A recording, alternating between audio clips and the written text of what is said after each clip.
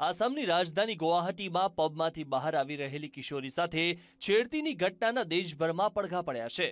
આ ઘટનાને રાષ્ટ્રીય મહિલા પંચના અધ્યક્ષ મમતા શર્માએ શરમજનક ગણાવી છે. મમતાએ જવાબદાર તમામ વ્યક્તિઓ સામે કડક કાર્યવાહી કરવા આસામ સરકારને જણાવ્યું છે. તેમણે પોલીસની કામગીરી સામે પણ નારાજગી વ્યક્ત કરી હતી. સાથે જ તેમણે ઘટના સમયે ઉપસ્થિત લોકોની નિષ્ક્રિયતા સામે પણ નિરાશાનો સૂર વ્યક્ત કર્યો હતો. खास तौर से गुवाहाटी सरकार को आसाम की सरकार को बहुत गंभीरता से लेना चाहिए।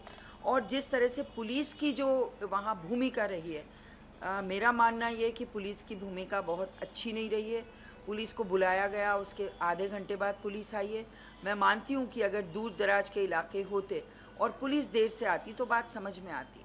लेकिन हार्ट ऑफ़ द सिटी वहाँ पुलिस का आधे पौन घंटे बाद आना और उसके बाद एक पुलिस का दस्ता जाता है पूरी जीप जाती है वो छः लोगों को गिरफ्तार नहीं कर पाए मैं समझती हूँ कि कहीं ना कहीं पुलिस की लापरवाही सामने आ रही है રાષ્ટ્રીય મહિલા પંચના અધ્યક્ષ મમતા શર્માએ ઘટનામાં જવાબદાર તમામ લોકોને જન્મઠીપની સજા આપવાની અપીલ કરી હતી તેથી ભવિષ્યમાં ફરી કોઈ આવું કૃત્ય આચરતા પહેલા વિચાર કરે બ્યુરો રિપોર્ટ વીટીવી